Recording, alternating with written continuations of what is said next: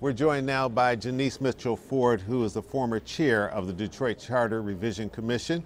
And what role did that play? Um, it's played a significant role, I would suggest. Uh, we'll see if you agree with us. I, I, know you put a lot of hard work into the Charter Revision Commission, um, but certainly uh, the name of the Charter Revision Commission came up several times uh, throughout this campaign, and particularly as it related to whether or not Mike Duggan could be on or off that ballot. Uh, as you look at it now, right. um, your thoughts? Um, I have never heard the word charter used this much ever. um, but I counted the privilege to have been at the table when this was drafted, um, and people are reading it and they're applying it, whether rightly or wrongly, it's at play. So um, the charter is paramount, I think, and center in this election because, number one, of the whole eligibility question. This was the first time that we had a residency requirement. And the whole question was at the time of filing. Mm-hmm. Does that mean when you walk in the door to, you know, file your papers, or does that mean by the filing deadline? The courts have spoken and in their interpretation, it meant at the time of filing. Um, candidate Duggan overcame that with a write-in candidacy, and so here we are today. Yeah, when, when you were putting all this together, uh, I'm sure never in your wildest dreams did you think this kind of scenario would come into play. Right. No, no, no, never. and let me say this, just um, for historical context, that phrase, at the time of filing, was a carryover from the 1997 charter and the 1974 charter. The only thing that we did was we put a one year requirement on top of that. Okay. So one year at the time of filing. Um, so when people say, what did you mean by at the time of filing? We never really discussed that part. We only discussed the one year residency and whether that was constitutional. But looking back at um, prior court law and the way the clerk's office interpreted it prior to this recent uh, litigation, it was always considered to be the filing deadline. But the courts have spoken on this current charter, and per their interpretation, it means at the time of filing, physical filing. Well, and we're going to know that going forward, aren't we? Exactly. So hopefully, no no repeat of this. And also with the charter, then very very important. Sure. The uh, the change to council by district. Yes. Uh, that is something, Chuck, that through the polling and uh, you know people of Detroit they said they wanted, wanted. that. Yeah. yeah. If we could just quickly kind of go through the history of sure, it. Sure, please. Um, our first city council in 1802 was at large, and there were five persons appointed by the governor. Then in 1857, we went to council by districts, where we had 20 aldermen from 10 districts, two from each district. As the city grew, the number of districts grew. So we then went from 20 to 42, um, and that was about 1917. And then in 1918, when we had our first home rule charter, we went back to at large. And we've been at at large since 1918 with nine city council people. We were nine when we had 100, well, 1.7 million people. We were nine, and we're nine now when we have 700,000. So the number nine has never been tied to population. It's always just been tied to how we've done it. Um, November 2009, Proposal D amended the 1997 charter to include districts. And under that charter, we had eight districts, seven with particular boundaries, and one at large. For the seven, you have one from each district, mm. and for the at large, you have two. Seven plus two is nine. We then carried that over to the 2012 charter. So now, today, for the first time in 96 years, we're voting for council by districts. And, and if the voter turnout continues to be low yeah. by the time those polls close. Uh, will you be surprised that it is low, given the fact that Detroiters said they wanted council by districts and that that was something that we thought yeah. would bring them out of the woodwork? Well, as you said, when we were writing charter, we couldn't imagine certain things, and emergency management is one of those things that you just don't write charter in mind, you right. know. And so it's not that people aren't excited about districts, but people who are coming out to vote are saying, "I'm happy to be able to do this." It's that they're disenchanted. Mm. They, they, feel disenfranchised. You know, it's like that old song, you know, um, "Unbreak My Heart." You know, they're just they're just emotional about the emergency management piece. And will my vote make a difference if I elect someone who has no power?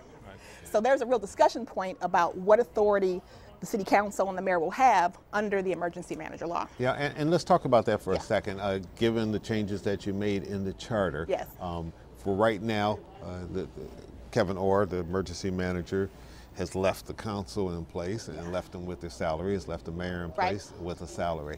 Um, how much can he change and at what point does he run up against legal problems with the charter uh-huh. if he tries to go beyond what he has done thus far? Okay.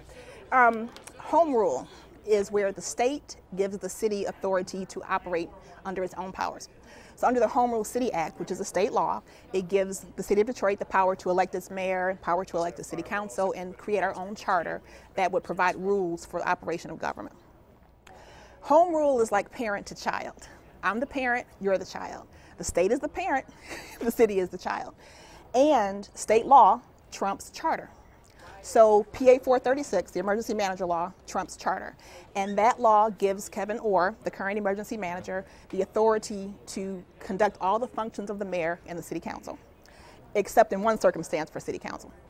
And that is if city council, well, if Kevin Orr proposes to sell a city asset for $50,000 mm-hmm. or more, and the city council says, no, we don't agree with that. Or if Kevin Orr says, I want to undo this collective bargaining agreement, this union contract, and the city council says, no, we don't agree with that, then they can propose an alternative to the Emergency Loan Financial Assistance Board and say, hey, instead of selling this asset for 50, let's do this, and we can still get $50,000. The loan board would look at Kevin Orr's proposal, city's council proposal, and then make a choice. That is the only situation under which they can exercise authority without his approval.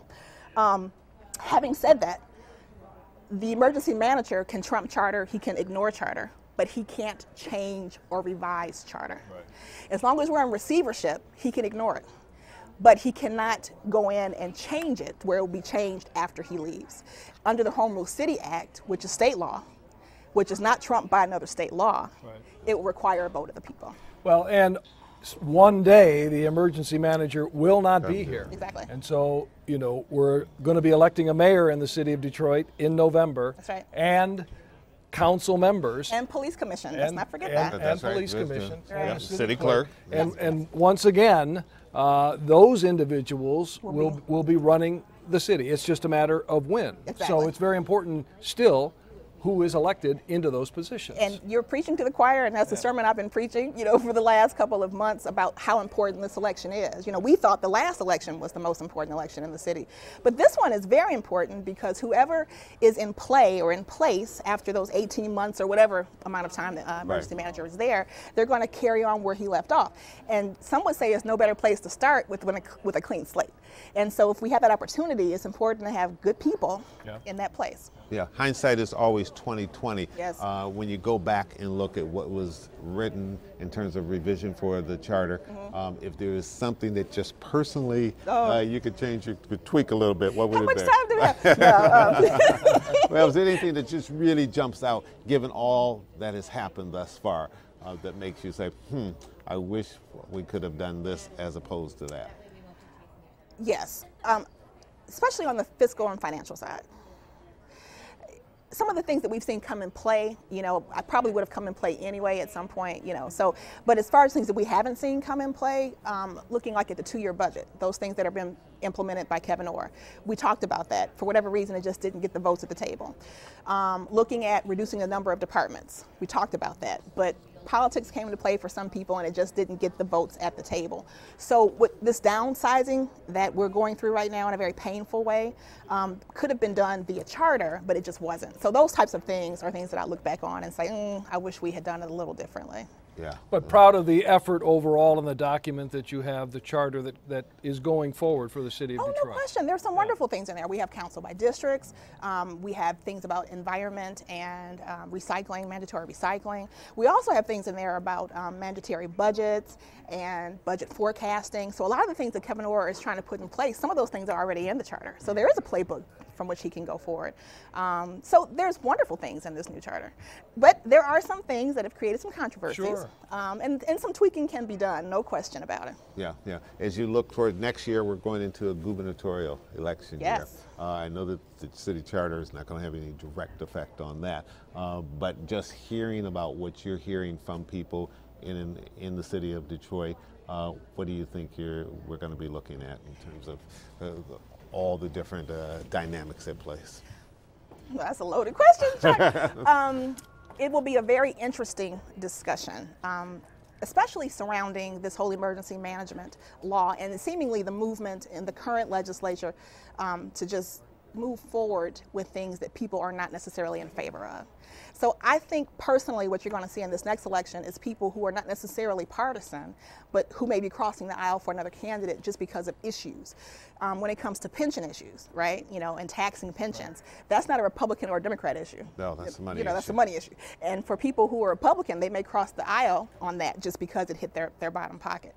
Um, so, you know, I think it's going to be an interesting race to watch because people have, as far as the emergency manager law, you know, they voted to change it, then it was changed back. Right. You know, so we're going to see how all that plays out on a municipal level from not only cities, but with the schools, you know, and how that's been playing itself off with Buena Vista and how they were closed down for budgetary issues and all that. So it's going to be very interesting to watch. Well, certainly it's going to be a referendum on Rick Snyder one way or another. No question you know, about it. Within the city of Detroit, anyway, relative to the gubernatorial race. Right, which uh, and and how it plays in Detroit may play totally different Right. uh, outside of the city of Detroit. May be a complete opposite situation. Right. Um, and some of the things that he's trying to do with the city of Detroit may actually um, buster his position.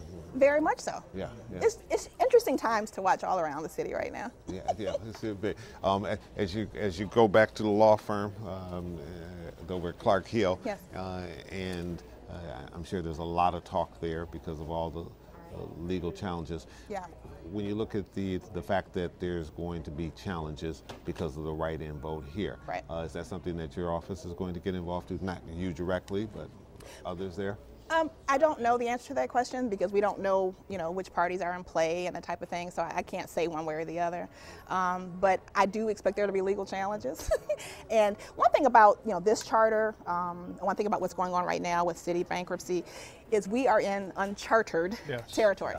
And what's being created is legal precedent. And as a lawyer, it's just exciting, whether you're on this side or that side, because these are issues of first impression for the court that they've never had to deal with before. So, whatever your position is, right or wrong, we're creating history here on a legal level, which is exciting. And then for someone like me who's a policy wonk, it's exciting because people are looking at Detroit like we've never done before. Well- I mean, New York, internationally, CNN, Absolutely, all because of that. we're not the last city Become a that is, is going to uh, go through the financial difficulties and maybe have to go the Chapter 9 bankruptcy route and maybe have to, uh, again, enter these uncharted waters. Yeah, we're the first Yeah, largest, but right. definitely not the last. And so we're setting precedent, as Detroit has always done. You know, whether it was in automotive world or in music, you know, we're setting the way this way. So it's an exciting position. People said, Jenice, the day we filed bankruptcy was the saddest day in our history. Well, I disagree with that. One of our saddest days was probably the riots. But for me, this is an opportunity for a clean slate. Right. Right. So I'm, I'm pretty excited about our future. You know, with districts, um, all of that. It's just really really a good opportunity for us if we seize it. Well, and we've done so many stories, you know, Chuck, as you know, with uh, what's happening downtown and Yeah. in Midtown and, and, and the vibrancy there and the new businesses and the people moving in.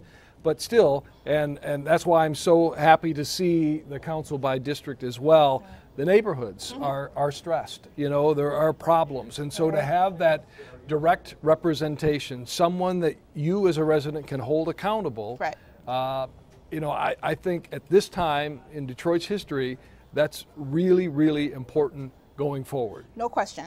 And people have asked the question, well, under the current, under the 2012 charter, will a district city council person have less authority or, um, you know, than a at-large person? And the answer to that is no, because they vote on everything that comes before the council. Their focus is their neighborhood, but they would also have the same vote on tax breaks for downtown stadium, as well as the at-large person would have the same vote on community development in District 2 or District 5. So I think it's going to create a um, diversity on the council as far as ethnic and race, but also perspective. Mm-hmm. Right? Everyone's not coming from one perspective. They're coming from several different ones. So I think it's going to be a good thing. Change is not easy, No. you know, but No. it's, it's often necessary. All right, and, and we are seeing a lot of change. and we'll determine later whether or not it's been good. Uh, and in some ways it will probably be good, some ways it may not be good, but Exactly. uh, either way, uh, it's going to be interesting to watch the entire Interesting process. to watch. I'm having a big bucket of popcorn. Well, you've got, uh, Denise you got a front row seat for it. Yes. Thank you so much for coming in Thank and giving us your me. insight and all the experience that you've Thank you had so there. We really appreciate it. All right, and we are going to